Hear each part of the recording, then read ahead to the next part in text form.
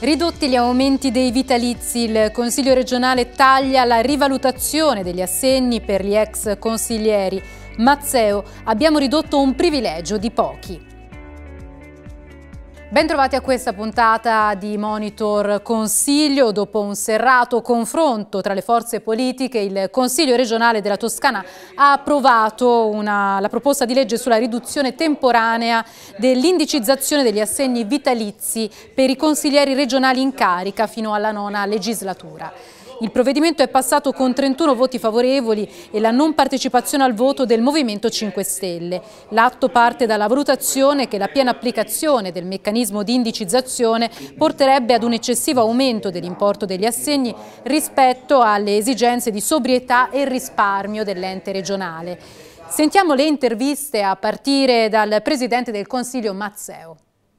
Per inquadrare si parla di vitalizi, quindi ex consiglieri. Quanti sono i beneficiari e a quanto ammonta la spesa annua del Consiglio? I beneficiari sono 184 e ad oggi senza rivalutazione parliamo di un eh, gettito pari a 5 milioni e 200 mila euro circa. Senza l'intervento di oggi, nel 2023, quanto in più sarebbe speso? Avremmo avuto un aumento di costo, visto che l'inflazione è stimata intorno al 12%, di circa 700 mila euro. Noi siamo invece la prima regione italiana ad aver approvato oggi, e ringrazio tutti i colleghi consiglieri, eh, una legge che sostanzialmente limita temporalmente eh, l'aumento Istat dei vitalizi. In più abbiamo approvato, anche questo all'unanimità, un ordine del giorno che impegna la Giunta a valutare nella conferenza Stato-Regioni se è possibile proprio toglierlo definitivamente e azzerarlo. Questa è una valutazione che dipende dal rapporto con, eh, anche con il Governo. Noi abbiamo fatto tutto questo perché in un momento di difficoltà in cui i cittadini, le famiglie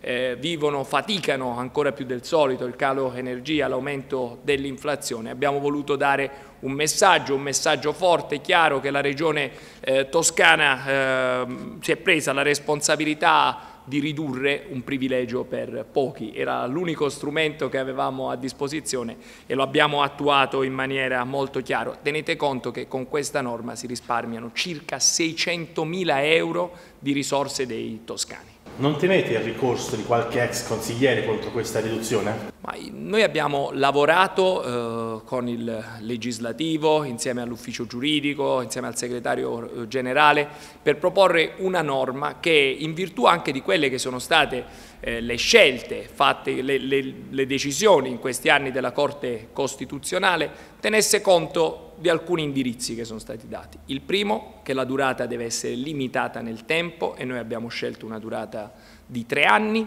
e il secondo punto è che ci sia progressività ed equità e lo abbiamo fatto perché abbiamo deciso di fare tre scaglioni, l'1% a chi ha un vitalizio superiore ai 3.000 euro, il 2% a chi ha un vitalizio tra i 2.500 e eh, tra i 1.500 e i 3.000 euro e il 3% a chi ha un vitalizio sotto i 1.500 euro.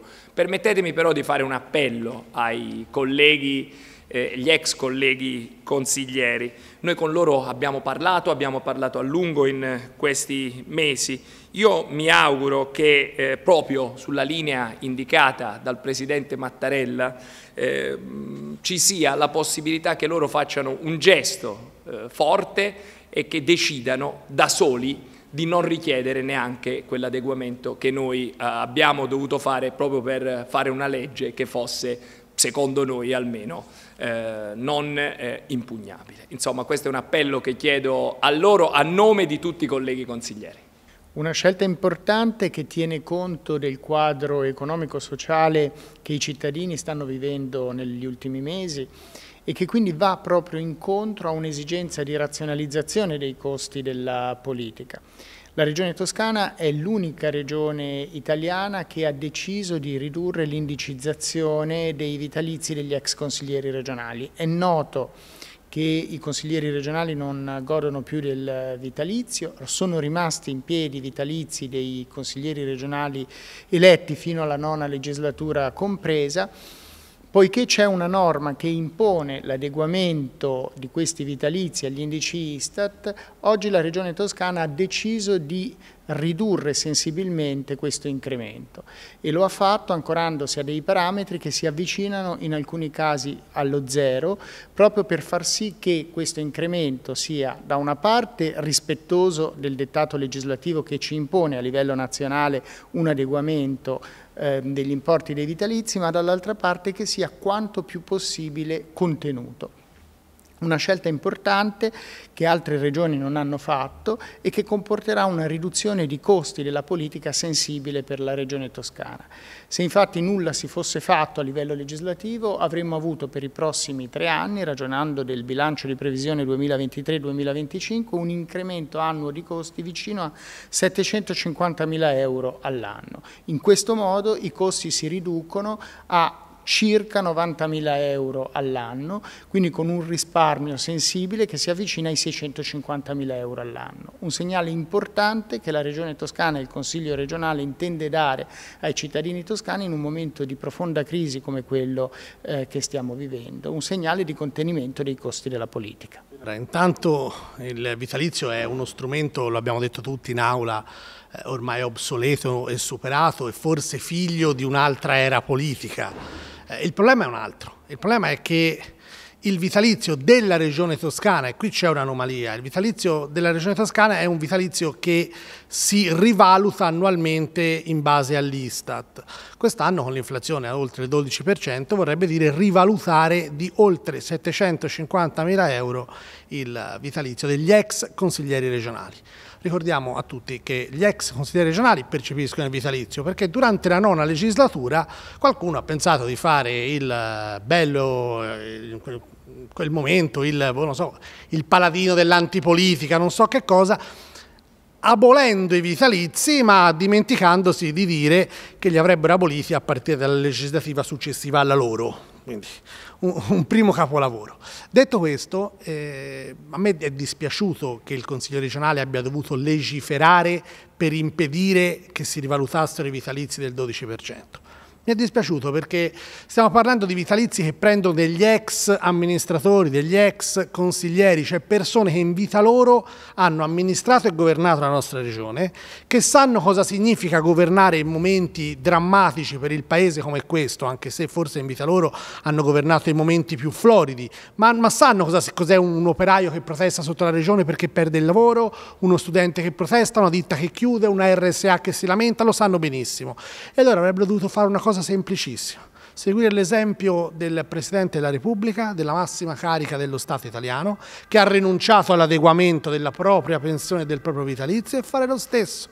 Avrebbero dovuto rinunciare loro, Invece, anziché rinunciare, hanno inviato una lettera dove si paragonavano ai pensionati italiani chiedendo un adeguamento perlomeno pari a quello che il governo nazionale aveva previsto per le pensioni minime in Italia. Penso ci sia grande differenza, grandissima differenza tra un pensionato che percepisce la pensione minima e un privilegiato come noi che ha avuto fortuna di guadagnare tanti soldi alla politica in vita propria. Sì, una scelta giusta, una scelta difficile, però il coraggio di un gruppo dirigente, questo che oggi è in Consiglio regionale, di chi ha guidato questa trattativa, abbiamo avuto il coraggio di andare a ridurre l'importo dei vitalizi alle persone che prima di noi hanno amministrato la Toscana, fosse stato per me avremmo potuto anche eliminare, ma sicuramente andremo in questa direzione perché c'è un impegno congiunto delle forze politiche che va verso il superamento della rivalutazione Istat, intanto il coraggio di togliere 600 mila euro che saranno destinati invece ai cittadini toscani, al mondo delle associazioni, alla cultura, ai giovani,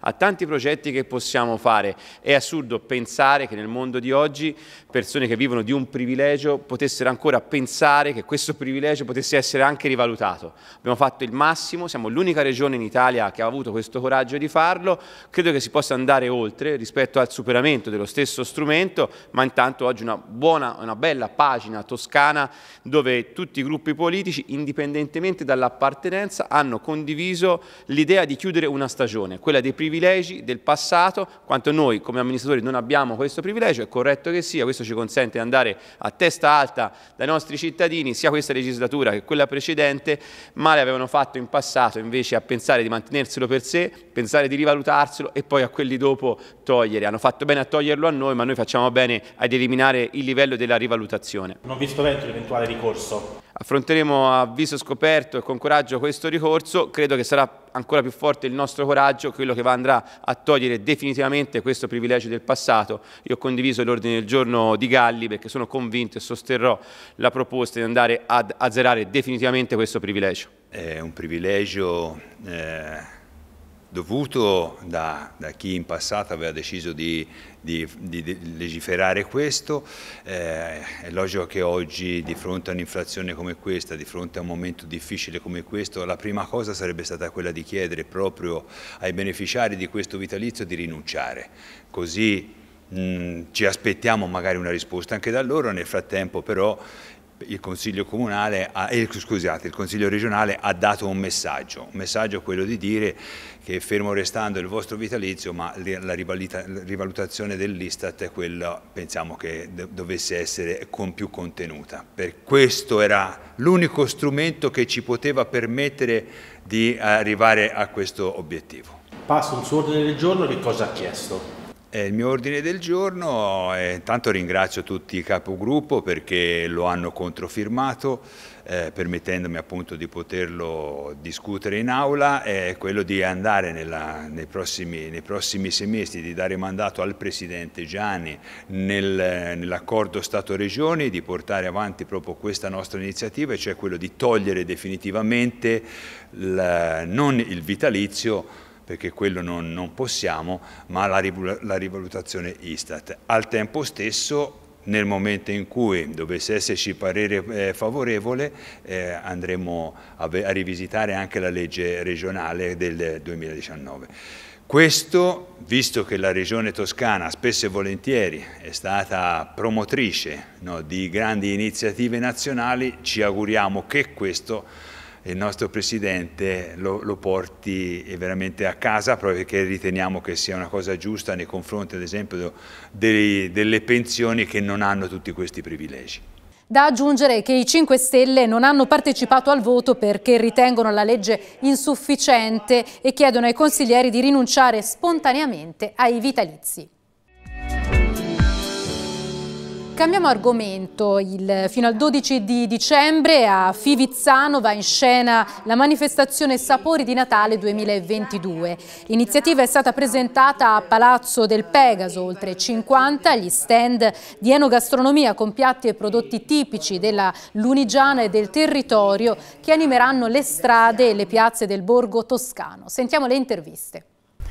Eh, Sapori è ormai una manifestazione tipica non soltanto del comune di Fivizzano ma di tutta la provincia di Massa Carrara ed ha avuto un vero e proprio riconoscimento a livello regionale come una delle più importanti manifestazioni di carattere enogastronomico e culturale del nostro territorio. Eh, l'edizione di quest'anno si sdoppia e arriva quindi anche al periodo natalizio. Si tratta infatti di un'iniziativa ormai talmente apprezzata che la replica anche in un contesto diverso da quello usuale, che di solito è quello dell'inizio estate, diventa un'occasione di valorizzazione non soltanto dell'iniziativa ma anche di Fivizzano, uno dei borghi più belli della nostra regione. Eh, si tratta peraltro di un'iniziativa che si salda anche a un altro contesto, quello della valorizzazione del presepe, uno dei simboli più importanti delle festività natalizie, che viene quindi riscoperto in tutta la sua importanza, nel suo carattere identitario e connotante anche del territorio e delle moltissime frazioni che compongono il comune di Fivizzano. Il mio vuole essere un plauso all'amministrazione comunale perché ancora una volta dimostra quanto sia importante credere nella forza della cultura, nella promozione turi del turismo e di un territorio come quello di Fivizzano che seppur collocato ai margini della nostra regione in una zona assolutamente periferica riesce sempre a far parlare di sé e lo fa per tutta una serie di interventi che vengono realizzati in questo territorio e che stavolta acquisiscono una valenza particolare da un punto di vista culturale, storico e identitario. Come mai la scelta di sdoppiare questo evento e proporlo anche sotto Natale? Perché noi crediamo molto nel senso di appartenenza e di identità a un nostro territorio per cui chiamare anche Sapori, la manifestazione grande che avviene eh, i primi di giugno e apre le, la stagione estiva a, eh, alla stagione invernale, a Natale, Sapori di Natale, anche questo racchiude eh, una, un recupero di quello che sono le tradizioni, il senso di appartenenza e di identità a un territorio che ha ha molto da raccontare. È tutto, grazie per essere stati con noi e per la vostra attenzione. L'appuntamento con una nuova puntata di Monitor Consiglio la prossima settimana. Buona serata.